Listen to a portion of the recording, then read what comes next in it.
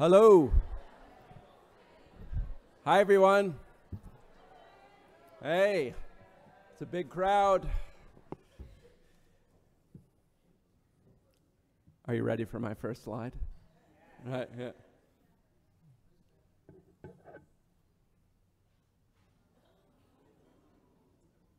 Ooh. Let's see one more, one, one more time. Yeah, yeah, yeah. yeah. Yeah. So, welcome to Convocation 2019. Convocation, it's, a, uh, it's the collective noun of eagles. It's also the beginning of the academic year.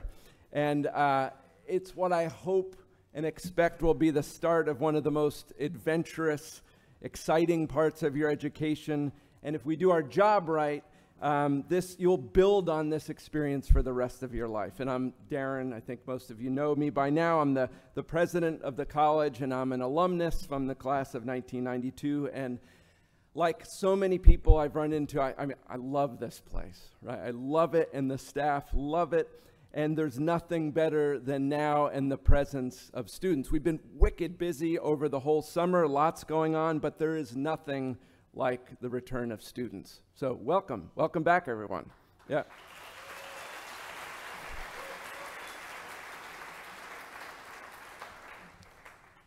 Um, I've got three things to cover in my few minutes. And actually, let's um, call it what it is. It's going to be more than a few minutes. You should be prepared for 25 minutes. Um, but don't, don't fret, it, uh, there are visuals to go with that. Uh, but then I'm going to introduce Nishad, a graduate from the class of 05, and really kind of the focus of the experience. So, first, I'm going to um, a discussion of tribute, respect, and partnership. Number one here. Um, a year ago at this time, I made mention that the college was going to put our collective shoulder behind three broad topics. First, we're going to discuss the future of our faculty and curriculum because of demographics. We will see a lot of older faculty members retiring and a lot of new faculty members coming in. How, as a community, do we want to manage that? Second, we were going to take on this question of persistence and retention. How can we better provide so that all students, um, with the guidance and foundation from the college, can persist on to graduation? And third, we wanted to understand and improve upon question of diversity, equity, and inclusion of staff, faculty, and students. First year students have been a part of that during the orientation. There's a working group being led by Dave Feldman, a faculty member here, and there will be opportunities to engage on diversity, equity, inclusion throughout the year and for this foreseeable future. There's no doubt we have loads and loads of work to do on the DEI front, but part of that work involves the Wabanaki people, past and present, whose lands we are currently on. Um, we need to recognize the tribal communities who called Mount Desert Island, Pesamkuk home. This is a shot from the Abbe Museum's exhibit, People of the Dawnland. And as many of you know today, the indigenous communities of Maine are called Wabanaki, but they refer to themselves as Jawapanahiak, and I practice that all night long, Jawapahaniak, um, which means people from the land where the sun rises. It's the root of the word Wabanaki. And according to tribal documents, there are 8,587 Wabanaki people in the state of Maine, 1,240 members of the Aroostook Band of Micmac, 1,700 members of the Houlton Band of Maliseet, 3,369 members of the Passamaquoddy Nation, and 2,278 members of the Penobscot Nation. I want to acknowledge their presence here today, but I want to make this acknowledgement being fully aware of the continual violations of water, territorial rights, sacred sites in the Wabanaki homeland. And I think we as a community need to work, if we're called upon and needed, to help the Wabanaki address those issues. And that's, that's the partnership piece here. Here's a different way to capture the outline of Pesamkuk. I asked Gordon furiously this morning, Gordon, send me a great map of MDI. And then I found this one late at night, and I love the, the LIDAR image. Um, Bar Harbor, which you see up there in the northeast, was called um, Moneskatik, which means um, place of clams or clam digging place. But I think we're going to need to ask Chris Peterson if that name is still viable. It might be better called place of green crabs. We're not quite sure yet. Um, MDI is no doubt one of the most remarkable places on the planet because of this human history and because of the beauty. And in my eyes, one of the, one of the best ways that we can understand, respect, and pay tribute to the people who lived here is to first to press your mind and stretch your understanding of what native peoples have gone through. What does indigeneity mean? what is the history, that very violent, difficult history of Wabanaki? But it's also important to get out and to know the lands. Um, there is a portal for doing this. It's right across the street. Actually, that's not true. It's right, this marker's right in front of the Dorr Museum. Consider it as a portal to Acadia National Park and the rest of Mount Desert Island and to the hundreds of miles of trails and carriage trails, a way to understand the native lands of the people who lived here. That's number one. Number two, second, convocation is a time to remember someone. Um, Les Brewer was one of two founding board members of the College of the Atlantic, and he died on August 23rd of this year. Uh, he was 97 years old and an active participant in this college up until almost the ver- actually two days before he died. He was asking us about our capital campaign and how things were going. He lived a long, fruitful, very productive life. Um, today, I would like to call for a moment of silence and, and memory of Les, if you would.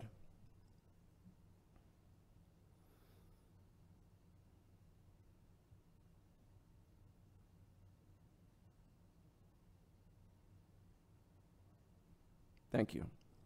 you. You see the portrait on the wall over there? Yeah, that's, that's Ed Kaelber. He's uh, our founding president. I've commissioned Rock Kaivana, who's the artist of that, to paint a new, a new portrait of Les, a portrait of Father Jim Gower, who is the other founding trustee, and of Ann Peach, who was the first chief operating officer and everything else at this college.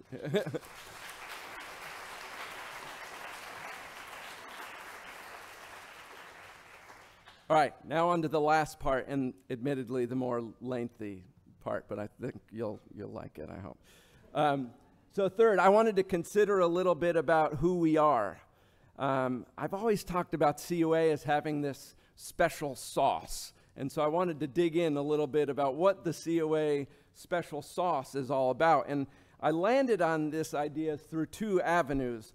Uh, first, just two weeks ago, I had the opportunity to take my own daughter off to college. This is me, obviously, and my daughter Maggie. And you all are going to be tired of me mentioning Maggie and her college and how that went, but it was a real learning experience, not only for her, but for, for me as well.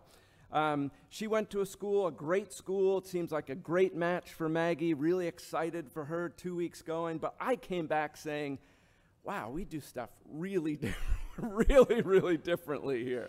And obviously, I knew that going in, but it was a learning experience to figure that out. The second route and the second um, um, way I came about this idea is that um, I wanted to. I, I, two people have joined the staff recently. And in those first discussions, I've said to myself, okay, this, these are the way that faculty or staff, students, the whole college is a little bit different. And before I go into the, the numbers um, here, because um, what's really going to happen is I'm going to give you 22 examples. It was originally a top 10 list, the top 10 list of da da da da. And I kept going through my photographic database, and I was like, I've got to include that one. I've got to include that one. But I, they will, once they start running, you'll, you'll, you'll feel comfortable. But uh, anyway, the, the new staff who I wanted to present this to are, are um, a number of them. So last year we celebrated Convocation on the 5th of September, um, and there are a bunch of people that joined us since then. Now, Carrie Sands joined us on the 4th of September. Is Carrie here? Hi, Carrie. Yeah. Can you stand up, Carrie? Yeah, yeah. yeah, yeah. Car- so Carrie works with the Sustainable Business Program and our food program. I may have missed you last year, is what I'm here to say. If I didn't say it on September 5th, I wanted to recognize you. Thanks, Carrie. Um, Ivy Enoch. Ivy joined us. Yeah. You can stand up too. Like, yeah. Ivy joined us as an admission. She's an admissions counselor. She started on September 10th of last year. She's an alum. She's a member of the Black Fly Runners, which I'll explain about later. Um, Don Bryce joined us on November 30th. Is Don here? He's the night watchman. He's probably sleeping now, so he can be on for, um, for, for later on. Laura Berry. Is Laura here? Okay, Laura is also an alum. Uh, she works with the Community Energy Center. She started on June 5th. July 1, John Pergolini. Is John here? John had to go to Portland today. John is also an alum, and he is in charge of buildings and, sorry, not Miller. No, he, sorry. He's in charge of grounds. Um, I've got a great slide later. Um, how about Sydney White? Is Sid- Sydney, Sydney, Sydney White, not City, Sydney White. She's in the, in the admissions department. She started August 12th. Deb DeForest. Could you stand up, please, Deb? Deb is. Uh,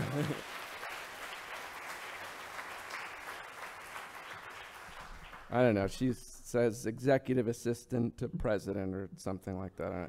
Um, September 1, two people joined us. Blake Cass is the associate director of the Writing Center. Blake. And will you talk to Blake about this, please? Um, and then finally, Maureen Harrigan. Is Maureen here? Hey, Maureen. Yeah. Maureen's the new Dean of Administration. And so, you all, not all of you, because some are alums, but consider this like a primer on those intangible things that you kind of just need to experience. Are you ready? Are you ready to go through them now? Right? Number 22. So, number 22, we have a very different perspective on how we share the campus with other critters. Have you seen this sign before? Right? Right? I love this in the context of John Pergolini. Like, you know, hey, other campuses at Furman, they would have bombed the hell out of this little wasp nest. I can guarantee it. I love that we share the grounds with others. See, it's going quickly now, right? Num- number 21. Um, graduation, right? Graduation at COA is something very, very special. This is uh, me and the then board chair, Will Thorndike, some woman that wandered off the street. and uh, no, it's Nancy Andrews, who is the grand marshal of the day, and Hanif Willis Abdurraqib, the poet and commencement speaker at the time. Graduation, am I right? Those have it's like there's something really special about it, and it's not just the the chocolate fondue and strawberries. But mark mark your date um, for that, please. Number 20. Um, I mentioned Will Thorndike before. That is Will on the far right. We are the only college where the president is the, um, the coach of the running squad and the board chairman is an active member. Uh, we take athletics very seriously here. very seriously. No more serious than our COA Blackfly running crew. Um, we've just been ranked in New England very high, and um, we take it very, very seriously. No, serious. As a place to run, on the East Coast at least, not West Coast, East Coast, better, better than anywhere. And um, so, why we're on the topic of trustees, this is a serious one. I tried to like toggle back and forth between like funny and serious. Thir- 19 is a serious one. So, um, when I ask trustees, like, what do you like most about the college? They don't say, like, I love the endowment, huge endowment, buildings are beautiful, I love the prestige. What they say, for, first and foremost, is they love the students. Um, if you ask trustees, they'll tell you there is no better way to understand the college than to experience the senior project talks and performances that happen on Friday before graduation. Um, this is Isabel Scheide and her uh, dance and movement performance, but last year included this list. And at one point I had this memorized, but I've since forgot, so I'm going to read it. Rose McNally from right here in Bar Harbor, she did a project entitled Wound Induced Polyploidy and Integrin Hippo Signaling. Rose is now a research scientist at the MDI Biolab. It would also include Moni from Lebanon and body autonomy and domestic violence, an artistic approach for women in Syrian refugee settlements. Moni is off doing her Thomas J. Watson Fellowship, looking at domestic violence all over the world. Jolie, originally from Hong Kong, her project was a student's perspective on COA housing design, and Jolie is working for Opal, the architectural firm in Belfast.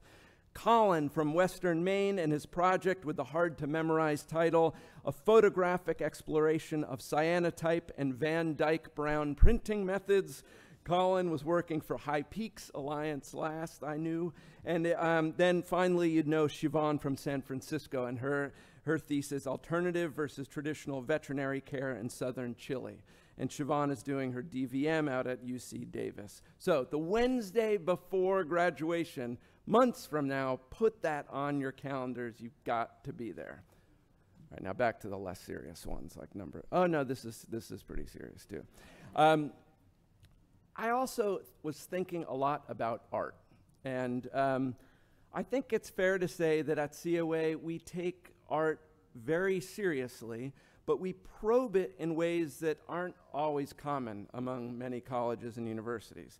Where um, we always love to ask um, okay, when you say we must bring the arts and sciences together, like, what does that really mean? It's so, it's a meme today. It's out there all the time. I think we ask and we probe, what does that really mean? We take it very seriously here.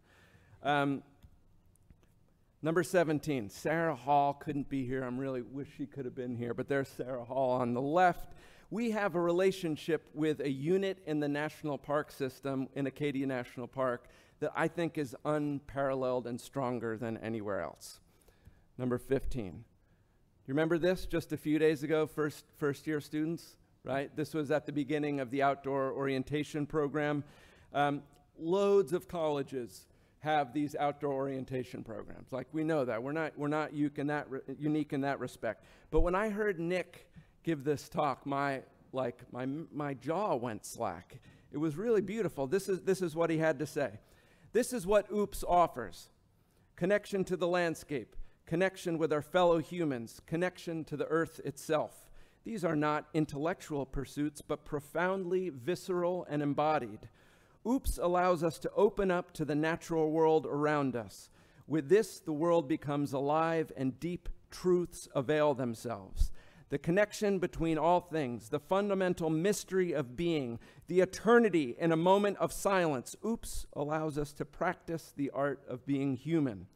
Further, these trips are microcosms of the entire human and human ecological experience.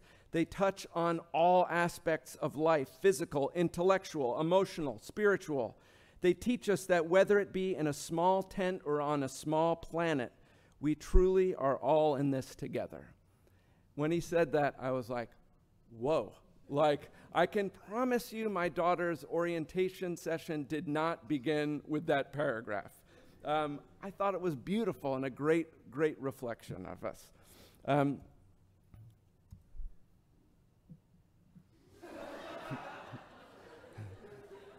Mount COA, like, right? Uh, has everyone, anyone said, what the heck is that thing out there, right? Like, um, it's 150 cubic yards of soil, right? That we had to scrape away from the building project up here in the north and deposit down there. And then when we're all ready, we're going to sift all of it. And all of you will be out there with little sifters like this. So we bring the soil back up and backfill, et cetera, et cetera. Um, that in and of itself is unique. But even better, Suzanne Morse, Suzanne here, Okay, Suzanne came into my class the other day, and, or into my office the other day, and she said, You're not moving the pile of dirt, right? Because we are structuring the weed ecology class around the mountain of dirt in the front yard. And I was like, yes, absolutely we are.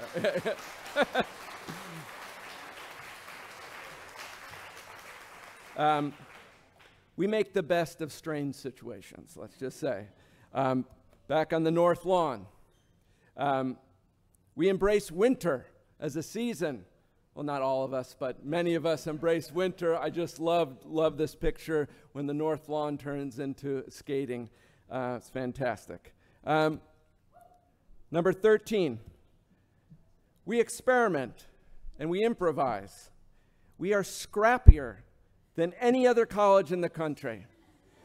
In the U.S. News World Report rankings, number one in scrappiness. number one. Number 12, we challenge ourselves with forks. Ah, ah, thank you, Ned. Number 12, we challenge ourselves with forks. Has everyone met these forks, right? That you go in and they, they break, right? Um, no, but kidding aside, I put this up here because we're passionate about discarded resources. As far as I can tell, there's not a lot of passion out there elsewhere. Here, we're passionate about it. We know we've got loads of work to do, but we're ready to take it on. And that, that hit me. That really hit me. Number 11.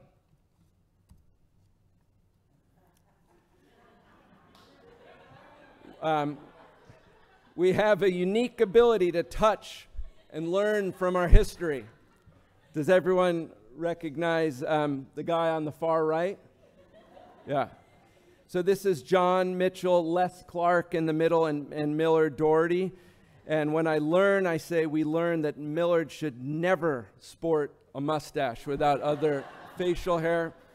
Um, but no, seriously, we touch, we get to touch our past. And Bill Carpenter last year gave an entire class on the history of the college, which was just fantastic, which we recorded and we will share. And this is an, an interview he had with Alexandra Conover Bennett from um, uh, the class of 1977.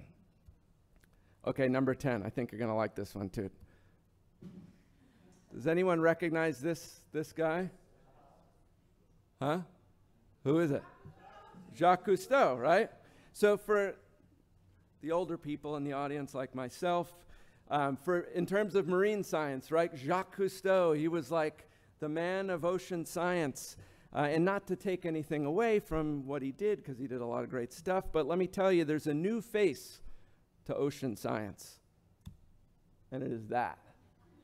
How badass is that photo, right?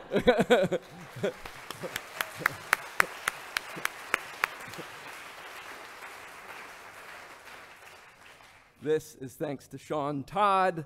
Um, I just, when I saw that, I was like, whoa, that is fantastic. And it's an indication to all of us that our campus does not stop at 38 acres here. It extends way, way out into the ocean 11 miles to Great Duck and 25 miles to Mount Desert Rock. And this, of course, is uh, Mount Desert Rock. So know that. Um, where am I? Okay. Um, in terms of also knowing where your campus goes, consider Beech Hill Farm. Uh, and also consider Peggy Rockefeller Farm. We don't just have two islands, we have 200 plus acre farms that are absolutely essential to how we do things here. Loads of other colleges have farms. Ours is intimately connected to the curriculum, to our food system, and to the way we do things. And where is Courtney? Is she here? Courtney, um, I am hereby reminding all of you that on Monday, September 23rd, at Peggy Rockefeller Farm, we will have Farm Day beginning at 4 p.m., right? So you're all welcome to come and get a taste of what, uh, get, a, get, get a taste of what the farms are like. Uh, number seven. Did I miss one? Oh, sorry. Number eight. Number eight we take our food really, really seriously, right? Really seriously. It begins on the out on the farms. It comes back to here with Lisa and Ken and Tab. Uh, it goes back to all the campus housing and what you do there. Food is an essential ingredient of that panache that, that makes COA what it is, right? Um, and part of that gets back to number seven take a break. Okay, my wife said I shouldn't say this, but take a break is the best the best place to gather and consume food together in the country in terms of higher education. There's no second, right? It really is. It is. Karen, my wife, who you'll meet later if you haven't met her, said, like, you know, you should really back off on that. It seems like you're going a little bit. I, I think, it's, I think it's true. And when um, for the new students here, when we were thinking and you know originally going back to the um, imagining the new building, uh, there was at one point an idea. Well, maybe we could move Tab over to that new building, and there was like revolt, like whatever you do, do not mess Tab up, um, which I think was the right thing to do. Number six. Part of what makes Tab great is that there are loads of kids there, like Jack Grizzly here. Um, and Willow, that's right, and Willow and back. And um, later on, you might get to meet Ezra too, which is great. But I think kids make this college remarkable. The more kids, the better. We have so much, so much we can learn from little kids. Which brings me to number five is that here, in a transdisciplinary environment, the idea is we can learn from everyone. We can learn physics and chemistry and design and planning, not just from PhDs, but from stonemasons. And the guy second to the left is a stonemason that worked on us, or worked with us on the, on the hidden garden right there. And um, that brings us to number four is the campus. The campus is a laboratory. It's not a museum specimen. Not that there's anything wrong with museums. Maybe consider it like a kid's museum where you can touch and play with everything. But it is a laboratory, and this was part of the experiment, as was this. And you will see this come um, er, late February, early March, when about 50 of these will appear on some of the maple trees throughout the campus, and uh, we will use them to boil our own sap, which brings me to number three. Um, we love to ferment things, like more than any other college. Again, fermentation is really good. And so part of the, um, the batch from last year's um, maple syrup, like um, Ruben, this is Ruben Hudson on the right, and he poured it out, and this big blob came out. And the first thing people said was, well, we can make mead out of it, right? Yeah. Um, let's make meat out of it. So we love to ferment things. Um, we're almost there, as you can see. Uh, number two, any idea what those dots might rec- represent? Who said that? How did you know that? that is amazing. Yeah, I didn't think anyone was going to get that. It took me a long time to put these little dots on the map. Let me just let me just tell you. Um, 55 countries. We represent 350 students here total from 55 countries. That's extraordinary. Now, we just ranked number three in terms of the highest percentage of international students, and that's, that's all right. But um, I, think it's, I think it's much more than that because when you have a curriculum like ours and a, you have a size of a community like ours, when there are students from 55 countries and about 37 states, that makes for something really, really special. Where are you? Where's where? From where? Colorado. There you are. See? There you are. Um, is Evie Tong here? Okay, Evie Tong is from Kiribati in the middle of Micronesia. He's um, he's that one way way. I kind of had to approximate between New Zealand and Hawaii. Um, but, and then, uh, ready for number one? Drum roll, please. Yay! The Bar Island Swim. Yeah, yeah, yeah. No, we, um, we do orientation like no one else. That's true. That's totally true. But the point is, I think what we do with um, orientation is we ask, and for your four years here, we ask that you really challenge yourself intellectually, socially, and physically. And that begins um, at 3.30 when all of you are welcome back here. Anyone who wants to yet to find a place, and Darron, I think, really highlighted this in his 22 images. Um, a place that exemplifies and thrives on nonlinear teaching and, and learning so effectively to create a better future and a better tomorrow. So you might all think now, well, I know that already. That's why I came to COA. Why, you don't need to really tell me this. Um, so I do want to tell you one thing, but I, I do want to say that is why I consider it a privilege to share this very important day with you. Um, because I know that I'm in front of a group of students uh, that are already determined to create a better tomorrow. And a group of individuals that would no doubt will have a lasting impact on any community or society that you choose to be part of. So it's a privilege to be here in front of you. And you're right, ever since Sarah Luke asked me to um, be here today, I've been thinking about what am I going to tell you that you don't know already or that you can't just Google. Even the map that Darron just put up, you knew immediately what that meant. So, um, so what am I going to tell you? Well, I don't actually have anything that I wanted to tell you, but I do want to give you a small reminder of one thing. And I want to remind you of the power that you have at your fingertips that I didn't have uh, when I was a student here. When I was a student here, we actually had to get up and go to the library and find information, me and many generations before me. In my, I think in my second or third year, I did buy a laptop, and it said it has wireless internet capabilities. And it blew my mind when Sean Murphy told me that that means you could sit out in the lawn and check your email. And this was only 18 years ago. To me, that's a pretty short time. Um, just to put into context how far we've come as a society, and just not in the US, but around the world. Um, growing up in Sri Lanka, I didn't have electricity until I was about eight years old. And when I came to COA, I actually sent letters to my parents because it was way too expensive to call them. And now I just can't stop my mother from sending me WhatsApp messages all the time. so, just in 18 years. And I remember arriving in the US for the first time. It was an evening um, at the Boston Logan Airport, and I was eager and excited. Um, came out of the immigration and realized I missed the bus to Con the Concord bus to Bangor. Um, and I didn't have a way to look up the bus schedule, so I didn't know when the next bus was going to be. And I also didn't have a way to call the person who was coming to pick me up that I wasn't going to make it. So whoever that person is ended up coming and probably left after some time of waiting.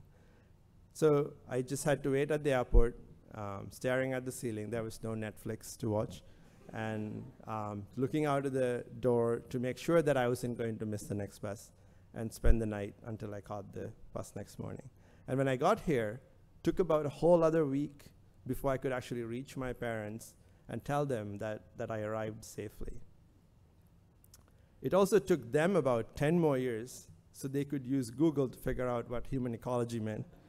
and as you can imagine, they're still confused. But, um, but I want to remind you that, that compared to every generation before you, you grew up armed with this incredible set of tools to learn about the world and to share your views and values about the world with billions of people in a matter of seconds. That's something many generations didn't have before you.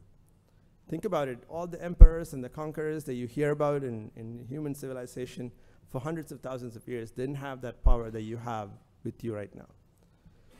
So we take it for granted, right? But I want to remind you that, that this using the, this power can be used for real change.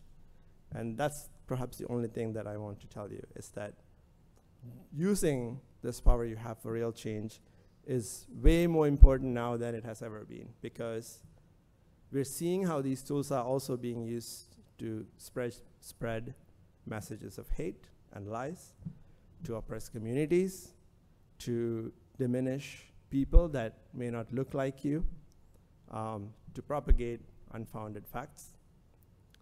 And misinformation, it's reduced the value of my own research, and thousands of other people, other scientists and policymakers working really hard to show that how humans are changing the world around us. Misinformation has led certain communities to believe that that's not true. It's been told to some people that we are not destroying our oceans, that it's not told, it's told to some communities that their rights for clean water are not being taken away. So because of these uninformed, misled masses that continue to remain ignorant, um, the threats of climate change and pollution, they've magnified in some communities to points of no return. Some of our field work that we do around Sri Lanka, um, some of the reef ecosystems that I grew up with, we don't see them anymore, it's not there. So it's heartbreaking to witness these impacts on a daily basis, but to know that, it's even more heartbreaking to know that we can change that and we can reverse that just by spreading messages of truth and facts. So I want to remind you that the need for using this power you have at your fingertips to connect communities, to be with communities, to build societies, to have real impact on places that you feel close to. That need is ever more critical, and I cannot think of a better place than COA for you to be trained to do that. So with that, um, I'd like to say thank you and welcome to the family again, and I look forward to seeing all of you do that. Thank you.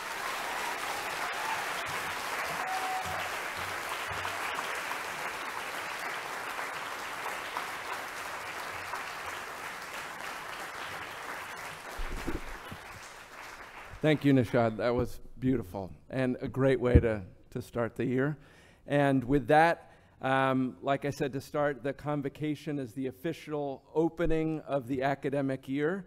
And I am hereby, if I had a gavel, I guess I'd pound it, uh, opening the 2019 2020 academic year at COA.